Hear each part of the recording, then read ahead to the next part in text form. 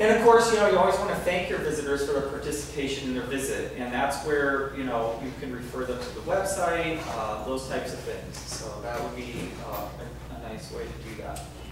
And remember, you are the face of what is happening here. You know, it's you. It's not, you know, once this is kind of taken place, we have a schedule, and you're out there, you're the one representing and making this happen. You know, so your your cohorts here are together. Know, your team. Okay.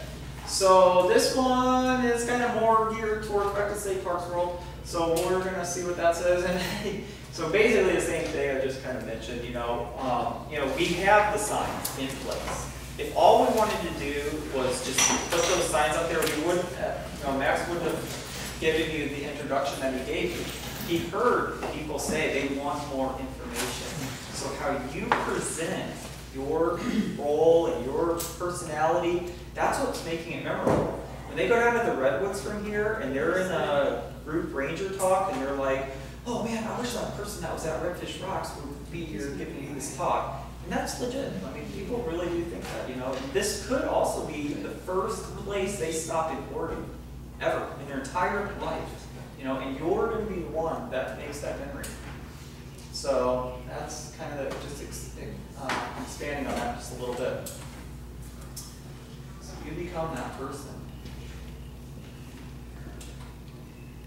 So a few of those things, like you know, what what do we want? You know, like your pride in uniforms. If something happens to your uniform, uh, let us know. We'll try and you know make make an adjustment. We could maybe get you a new one. You know, like all these kinds of things. Sometimes I, I kind of throw this stuff in there because people are living in their RVs and they, you know, they come out and they're like, oh yeah, you know, so all these kinds of things, you know, can play uh, a component in a personality. So there can only be one first impression. All right, so interpretation. We talked about really what that is and how, um, you know, interpretation isn't necessarily just laying out the facts, you know. Redfish Rocks has 3.7 square miles of you know surface area, and it is there to be a no-take area. You know that's not really going to do it. And so entertainment. Oh, out there in the water, there's all these fun things. You know, so we don't want to be you know these types of things. So what are you? You're not out there for enforcement reasons. You can be more of an informant, is what say. So if you see something that's going on that would be a 911 or some kind of violation, that's not what we're asking you to do, is enforce the rules, you know. So you're no doubtedly going to see and observe things that are not legal, but that's that's not what your roles are. You're not a machine, you know, you kind of said with the panels and stuff like that. And no one likes to know it all, so sometimes you just kind of have to take a grain of salt and like listen to somebody else because there's always somebody in the crowd that wants to tell you their story after you've told them your story, you know. So if you kind of keep going back and forth, then you're not going to really get any traction. So an interpreter is a good host. So somebody that's welcoming. You know, think about you know going over to somebody's home as you know, I'll take your coat. You know, like here, here's a great place to sit, can get off the water, you know, that, all those types of things aren't going to actually happen out there, but, you know, inviting them and then sharing your message is something that can happen. So they feel connected to the resource that they left, you know, uh, you you might be, you know, offered that donation and, you know, Jeanette's going to have to, you know, we're going to have a donation box or whatever. Um, appreciate why this, this place is important. And uh, this is this is one that you will know that you've made a lot of connection and success. Is if the visitor themselves has now like been hooked and they are there and they want to share what they know or they're from South Carolina and they have a marine reserve that with scallops and the scallops are just doing wonderful because of the same process. So that is a tip to, you know, say, hey, I'm, I'm actually doing what I should be doing. And that's kind of it for that part of the presentation there. Um, I did, did want to kind of, I have two other uh, PowerPoints I can rail through, but I did want to mention a couple notes I was thinking about while I was listening to the video. Um, you know, we heard that the Marine Reserve is kind of, uh, you know, it, it, it is a no-take area, but it isn't a no-use area. So, you know, looking at the positive spin on it, yes, it did have an economic impact on fishermen. We heard that. we heard that it is a no-take area. But that doesn't mean that you cannot use that area. We heard that people can transit through it. We know that it's a living laboratory. We know that people can recreate in it, scuba dive, and, and explore. In fact, just the other day, I was out there uh, doing uh, a black oyster catcher survey. We found a bird. Last year we didn't find a bird. I'm going to be taking the Smurf crew out on the 8th of June to recover the Smurf. I'm going to be doing that all season long because the urchin population apparently has gotten to the point where it makes more sense for commercial fishermen to take that job versus the job of researching right now. So I, as a volunteer, will be doing that with OSU. Um, so it isn't an unusable area.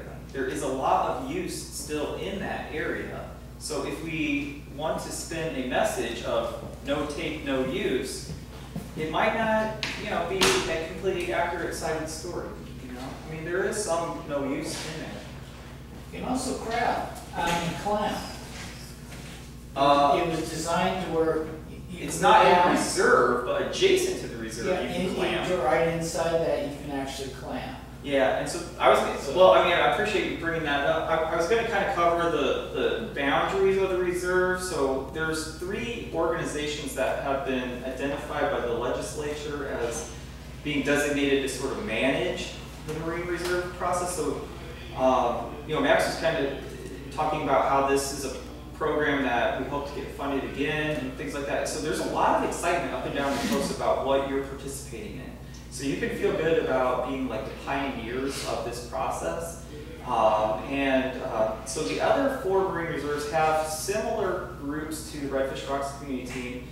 They have their own level of development, and some are, um, you know, just more kind of just acknowledging that the, process could be there, and some are very developed also. But the three organizations that the state recognizes as the managing groups of the, of the Marine Reserve um, is, of course, ODFW, Oregon Department of Fish and Wildlife. They handle the bulk of what people think of as the Marine Reserve management process. Department of State Lands, um, they're like across the state in the territorial sea, which is out to three miles, they have control of the underwater land. So they're you know, the, the seafloor. So once the extreme low tide would be met, that land underneath, or I guess it's seafloor, goes out three miles, and it's a varying line because of the way the coast is, is underneath the Department of State lands. From the extreme low tide to the extreme high tide, which high tide extreme does change, and it's defined in statute because cliffs fall and trees grow and wind changes, things like that. So that all happened through the Beach Bill process. So that particular strip of land along the coast is known as the ocean shores, and that's underneath the Department of Parks and Recreation. So this particular red Redfish Rocks Reserve starts at the extreme low tide. So Oregon State Parks doesn't have any necessarily jurisdiction over how it's control or management of this particular marine reserve. DSL and ODFW are the two agencies that would.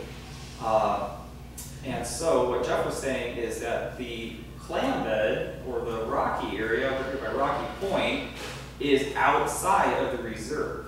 So it's right up to the edge of it.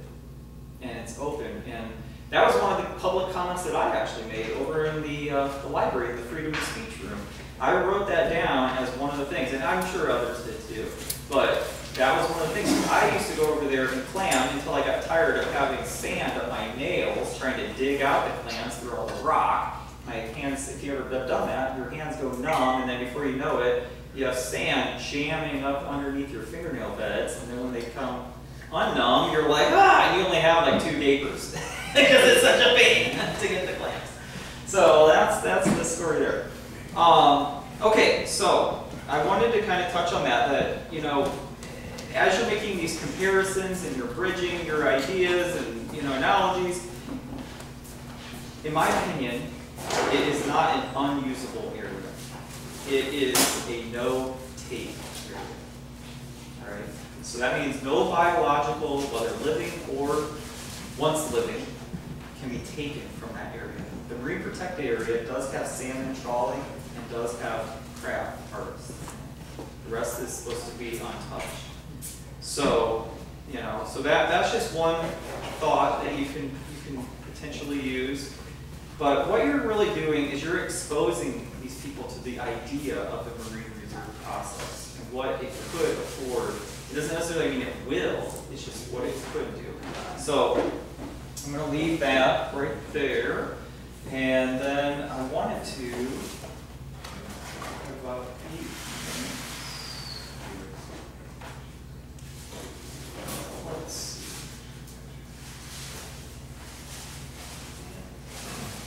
So here, here we are. This is some like examples of ways that information could be out, outlined. So, has anyone ever heard of Indian paintbrush? It's a wildflower. Yeah. Yeah. Okay. So here, here's a of Indian paintbrush. It's you know fairly, you know, it's, it's stalagmites. So this is kind of information and informative method. I'm not going to read it for you. I'll try and bring that up to, uh, to a larger. I know there's a shortcut. Okay, so, you know, we go up and down, see, you know, slide this growth. So interpretive. Okay, so there's no longer any uh, remaining, anything remaining of the old cookhouse. Where its long table covered with brightly colored tablecloth where miners ate three hearty meals a day. Imagine, this is a key word right here. The breakfast time aroma of fresh, hot coffee brewing and the sound of eggs and bacon sizzling on the grill. And then we're also served hot cakes, fried potatoes, and toast with homemade jam.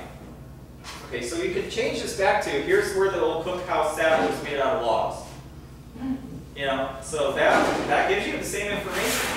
But here, we're imagining what it was like to be in the old cookhouse made out of logs. So if you think about the Marine Reserve, we have some panels over there. One of the panels talks about leaving that particular site where the panel's at and making a journey out into the Marine Reserve. That panel is very interpretive. The other panels are, are also equally interpretive, but they don't have like such a story. So that's something that you could try and build into your, your talk. And then here we have the Clark's Nutcracker. You know, it's just it's just another another one. You know, basically the way it is. I'll read it for yourself there in a second. So anyway, that's that's kind of uh, the difference between, as I mentioned in the first presentation, there that like we're just giving out information, or are we trying to bridge it to an interpretive level? So that that's giving you that relate, reveal, and provoke sense of what interpretation is incorporated, inclusive of. Okay, so last part here. Yes, I think I, I think I had one more, but I don't see it, so we'll just. Um, it's, it's more state parks anyway. So, um, this is the Oregon State Parks like fun website. The other one is more like our rules and stuff like that. If you ever want to go there, you can come over here and you can see how the state likes to just kind of just, oh no, we don't need that one. We want the fun one. So that's the stateparks.org over here. This is the stateparks.gov. So if you wanted to do find a neighboring park and you want to know some information about it, you can come here to the Find a Park section. And there's a couple different ways to navigate. You can look at all the parts up and down the coast because we, I just mentioned that the whole entire coast is essentially a state park, the ocean shore. But all these little waysides and all these little points right here are labeled here, so you have to zoom in to find it out. You can, you know, of course, go by little different ways, or you can just grab here and drop down and, you know, oopsie, doopsie, um, and get, get a particular park. So in our neck of the woods, right down here on the west edge of the, of the North America, we have um, quite a few state parks in our, in our area. So I am trying to do this. I'm not super familiar with it. You got it. Yeah. I think. There we go. So Humbug. And we have Cape Blanco. Arizona Beach. And um, so there's a lot of state parks in our area. So Paradise Point. And I think Jeff was more or less just wanting you to be aware of some of these locations. Again, you heard it from Max, like if people are asking like, where can I go camping? What can I, what you recommend for dining? Those kinds of questions really be like referred to the greeting center, uh, or excuse me, the visitor center inside, because their staff is, uh, worked with some of the business owners, they've been around for a long time. They know what, um, you know, they might ask, they wanna ask a couple questions, well, are you looking for seafood? Are you looking for child size portions? What are you looking for? So they, they know, you know, and so, but, you know, if you go to a particular park, we'll just select Port Orford Heads, go. There's a few photographs of the uh, particular park on the website. Um, you know, there's some of the information about what the rates are for different parks. I'll let you know that there are no day use fees in our area. You have to go up to Coos Bay to Shore Acres to hit the first day use area. That would uh, be uh, five dollar fee.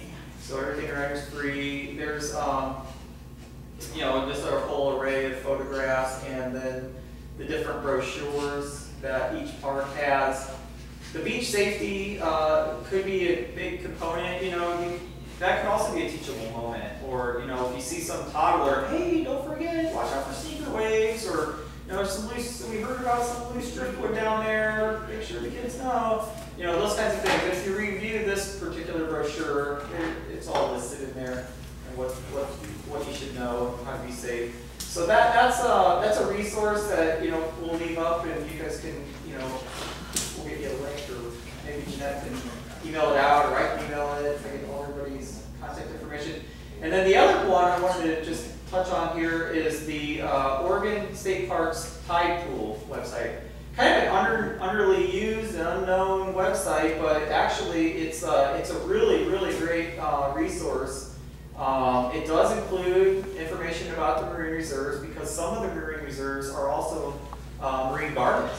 So uh, Otter Rock, for instance, is is one that Oregon State Parks has a big hand in uh, the management of, and it is listed in here. So you can, you know, kind of scroll around and find our area. And again, you know, navigate by maps, navigate by lists, what do you want to do? But, uh, but here we are, here, and a couple of the bigger, uh, well-known tide pool areas that are easily accessible are listed. But this is a, this is a really, really great resource. Um, not necessarily something that you're gonna, you know, highlight on all the time, but just wanted to give you some exposure to that. And, uh, and then we have, back to our website. You know, just, kind of covered what was basically covered. Dave's come into the room now, there's Dave. So, um, you know, what, I think there's a good map here. Thought we had one. Yeah, okay, so there it is. So that's the map that's over there on the wall. This is the map that's right here. This is the map Chris was kind of talking about. Not necessarily the same one that's in the video, but it gives you the background on what, what's out there, and Jeff was motoring right along here, I never knew that till today, and he's like, ding, that's the edge. That's pretty awesome. So, um, so yeah, so it's very visible, uh, you know, and it's, and so I'm gonna use, I think, Control Plus, and we can zoom in a little bit on that. Get a little tighter there. Okay, so again, what we're seeing here is the green, uh, that's representing Highway 101. You know, you can kind of see Humbug, Battle Rock, your home base, right? And uh, Port Orford Head, some of the, so right through here would be that intertidal zone and not part of the reserve. We move out, okay, then we have again Department of State lands under the water and Oregon Fish and Wildlife managing all the uh, species, so you know, anything that's basically living out there, uh, with the exception of marine mammals. So, and then what you have is the territorial sea line, which isn't represented on here so much, but because the way the land sort of forms has two tips, so you have Rocky Point here, Coal Point down here, the territorial sea is three miles, nautical miles, from the shore. So nautical miles are slightly larger than a normal mile.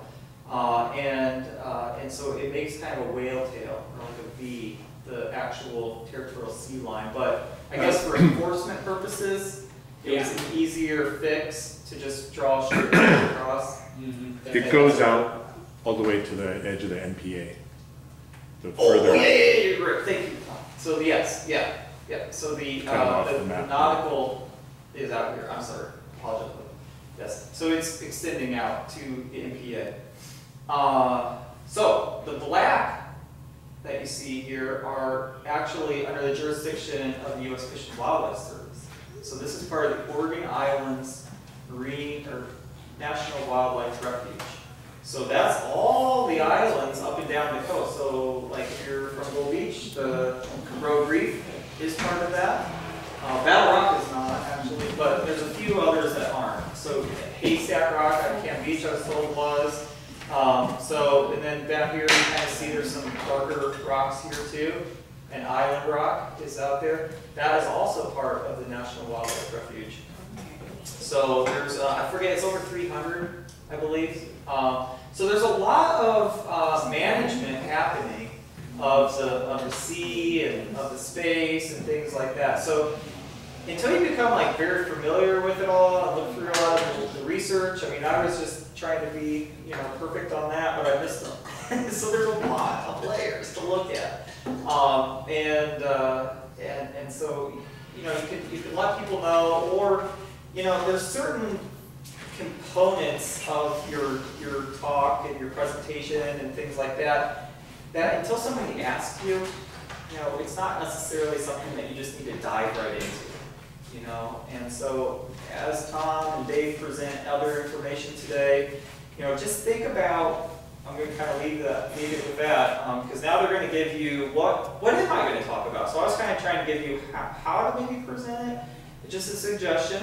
Um, but remember, like, people are there, they want to hear a story, they're on vacation most likely, or they're stressed out because they need to get somewhere else. And so, you know, reading your audience and telling them a little bit of a story is what they're most likely going to enjoy. So that's about it. Uh, does anybody have any questions?